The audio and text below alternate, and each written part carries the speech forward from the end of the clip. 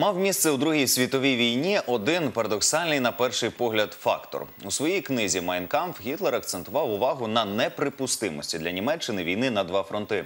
Правило, яке зрештою сам і порушив, адже війна з Британією затягувалася. За спиною Лондона стояли Сполучені Штати, їх вступу у війну фюрер остерігався надзвичайно. Так настав той момент, коли стало зрозуміло, що війна між двома поки що друзями та союзниками СРСР та Німеччиною є неминучою. Відтоді обидва тоталітарні режими починають підготовку до збройного протистояння, накопичуючи по обидва боки кордону мільйонні армії та насичуючи їх технікою і боєприпасами. При цьому не забуваючи усміхатися одне одному на дипломатичних раутах. Підготовка до наступу істотно перевалювала над оборонними заходами. Захищатися не планували ні ті, ні інші. Тож можна лише гадати, як розвивалися події, якби радянський союз напав першим. Хоча офіційні документи радянського військового відомства і не передбачали можливості удару на випередження, зосередження таких сил і засобів у зоні ураження свідчили саме про підготовку до наступальних операцій. А далі була війна. Що про ті події пам'ятають очевидці, знає Олена Бережнюк.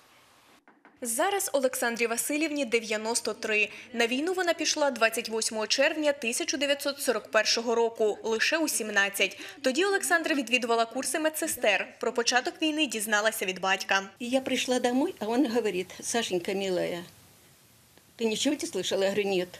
Как ничего? Я говорю, ничего не слышу. Война. Я говорю, какая война, папа? Мы на завтра на Донец собрались покупаться. О чем ты говоришь? Она, деточка моя, война.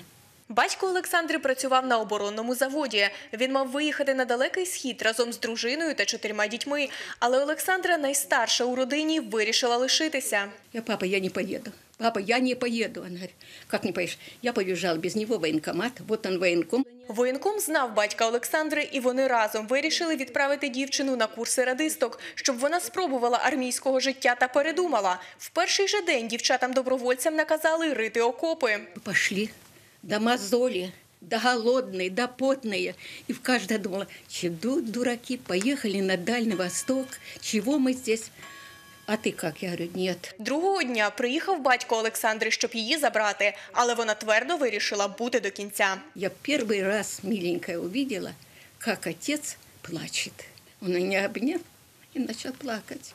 Шурочка, родная, это же мясорубка, куда ты идешь? Ты же ничего не знаешь. Что ты знаешь об этой войне? З тих пір батька Олександра не бачила. Він загинув під Сталінградом. Сама ж вона стала радисткою та пройшла всю війну. Працювала з надзвичайно секретними матеріалами. Что передавался такой материал, что я его сама, деточка, не знаю. Вы понимаете? Я только видела плоды. Перешли в наступление.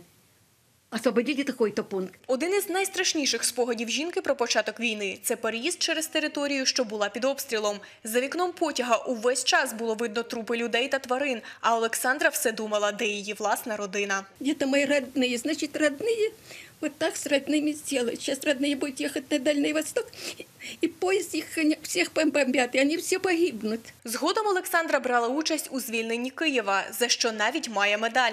Нагороди жінка не рахує. Їх у неї більше 50, хоча носити їх не любить. Женщине неудобно просто. Мужчины этого не имеют. Натомість переглядати медалі люблять онуки, які часто приїжджають у гості. Зараз Олександра Васильівна більше часу витрачає саме на них, а ще любить доглядати за рослинами та шити. Плоди своєї праці вона подарувала і нашій програмі. Жінка у минулому педагог, любить зустрічатися з молодим поколінням, вчить їх робити у житті правильний вибір та цінувати мир.